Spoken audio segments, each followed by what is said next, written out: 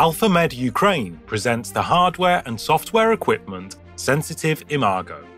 This unique and innovative device allows to carry out an accurate, non-invasive diagnostic of the human body.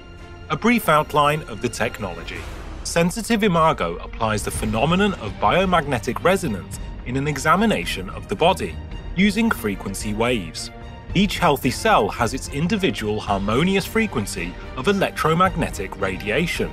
At the same time, every pathological agent, allergen, toxic substance, or microorganism also have their own strictly defined frequencies. When affecting a healthy cell, a substance or pathological agent changes the frequency of its vibrations. If there is no pathology in the organ, one type of signal is produced.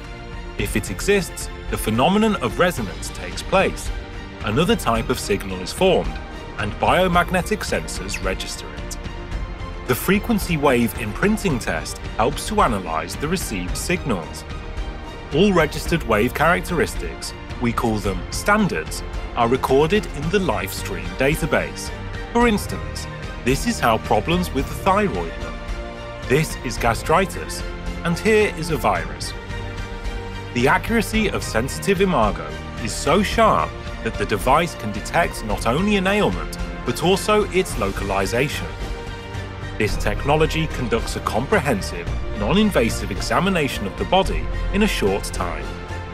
It is widely used by doctors, homeopaths, naturopaths, and nutritionists all over the world.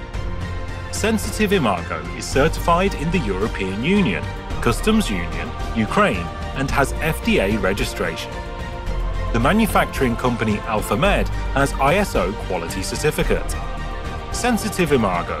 The future is here. Watch our next video and learn about the diagnostic procedure and examination phases of frequency wave imprinting test.